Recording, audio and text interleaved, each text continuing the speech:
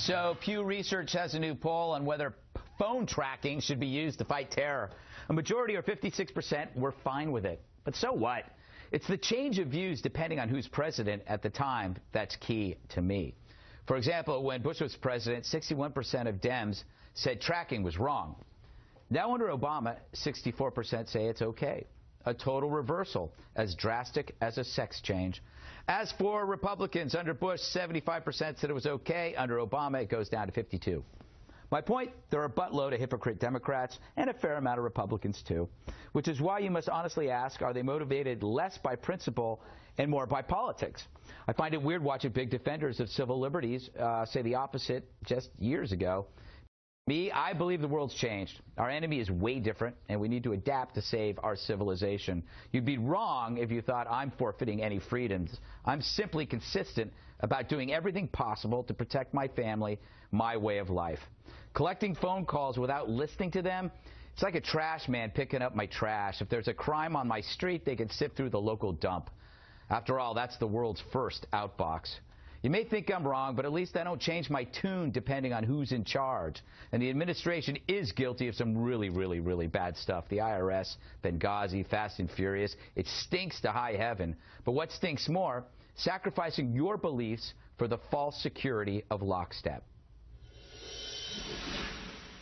Andrea, do you see that? What do you think of this poll, of this shift? Uh, is it political or principled?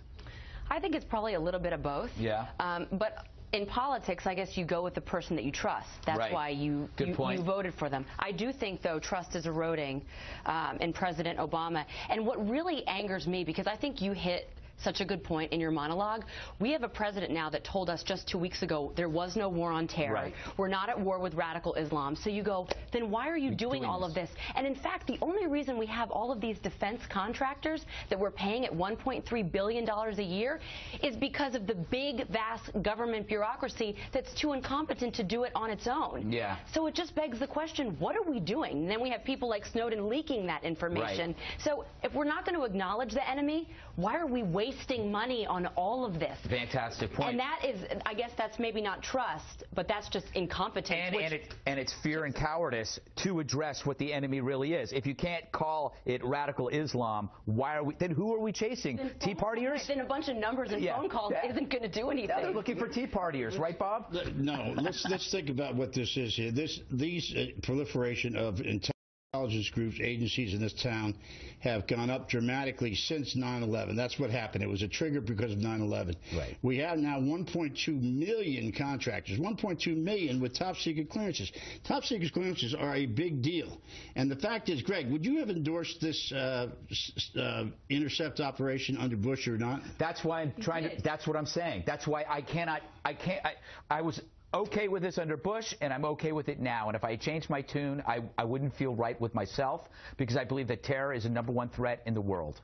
It's different, though, guys. I know it's. I know it's different under Obama. I get your point. But, but it's even different. Not forget who was president. It's different because uh, uh, under President Bush, it was and wh- the way it was supposed to be. If you have someone that you have sus- you suspect of either terrorism or espionage, Right. you can go after them. You can ex- make it expansive. You can go after their whole group. You can go after not only a Muslim, you can go after a mosque or a group of mosques in, in an area. This is way so much far more expansive without anyone in. There's no intent. They don't even have a something they're looking was for. And expansive that, under Bush. What are you talking no, it about? wasn't, Bob. This Yes, is it not, was. There, there was absolutely It absolutely no, was. absolutely correct. Because under Bush, you go to the FISA court, and the FISA court is That's what they Foreign. Intelligence Surveillance I Act, what it and you had to have a, so- uh, at least one foreign body communicating with with an American. How's that different now?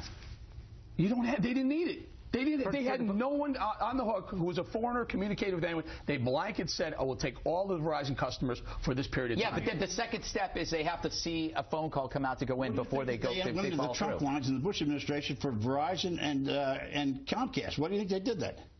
What are you asking? Well, I What they understand the they, they took the, the communications out of the Verizon trunk lines. No, no, they, yeah, but they didn't ask for it because they had a specific communication that they were course they trying. asked I for know they didn't, Bob. Go look at the document. look at the document. They, they went to FISA court and had they had something like 33,000 requests for FISA and 11 were turned down. David, 33,000. check, check me on this one. will you? Did they not, or did they get in all kinds of tr- uh, arguments about whether they should be going into getting these companies to give them that information? You back then, you mean? Yes. Oh, I agree with you back then, but that was different. That's my point. They were held to higher scrutiny then than, than they are now. This is a great reason why the administration should, I'm going to agree with the ACLU. Let's just see it all. Right. Let's have an explanation. Yep. What? Because I feel like we're just dealing with a bunch of uh, Yeah. clouds. I don't. I don't know what the actual facts are. The whole, the entire program, the expansion of it, uh, how it changed, how it adapted. I would say on the on the trust on the on the trusting in government um, uh, and the poll that you mentioned. Um, Trust in President Bush at the time that the terror surveillance program was leaked to the New York Times on mm-hmm. the front page for days and days was low Yeah. this, during the second part of the second first year of the second term. Right. That is now true for President Obama as well. But the media, it's interesting. It was Glenn Greenwald of the Guardian who got this story, mm-hmm. not the New York Times. I think that the media coverage of it has something to do with this. Also, people just adjust to change in a global war on terror. Yeah, last word? Just, I, I just would love to know how the left expects us to go after terrorists and keep us safe, right? so if they're not going to acknowledge a war on terror, if they don't like drone strikes, if they don't like enhanced interrogation, and now they're going crazy about the surveillance program, how do they propose that we go after terror? Apology. Dr- drone- Bow. That's true. Be drone nice. Say strikes kind and things. legal- Give drone speeches strikes in and Cairo. in, in intercepts. Legal Flatter intercepts and drone strikes. pottery All right. skills and tapestry.